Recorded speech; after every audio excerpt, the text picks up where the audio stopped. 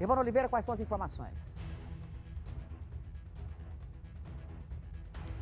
Oi, Silvia. Olha só, essa história aconteceu lá em Edeia. Na verdade, envolveu uma motocicleta que foi roubada na madrugada, né, nessa madrugada de hoje, ou seja, 12 horas depois, o responsável pelo roubo já estava aqui em Goiânia e essa moto chamou a atenção das da equipe do Giro e logo depois, na sequência, a gente tem um desfecho de todo esse caso. Quem vai contar pra gente, a equipe está aqui juntamente do Tenente Cleiton. Tenente, muito boa noite para o senhor. Explica pra gente então como é que foi essa abordagem, até a finalização da ocorrência. A equipe de giro estava em patrulhamento pela região ali, saída de Senador Caneto, região lá da colônia Santa Marta, e deparou com um indivíduo numa motocicleta sem placa. Isso gerou a suspeição, é, foi iniciado o procedimento de abordagem. O indivíduo, ao visualizar a equipe, adentrou uma região de mata e de imediato, após descer da moto, ele já começou a efetuar disparo contra, as, contra a equipe foi revidada a injusta agressão, né, e após cessada a injusta agressão foi constatado que a moto tratava-se de um veículo roubado nessa madrugada na cidade de Edéia.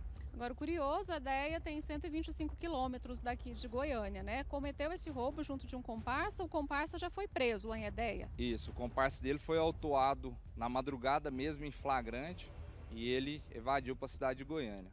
Agora, ele já tinha outras passagens, né? Essas passagens também se tratam de, de roubo de veículos? O indivíduo ele é de alta periculosidade, consta-se no seu histórico aí outras duas passagens pelo artigo 157, né, que é o roubo, e demais outros, outras passagens.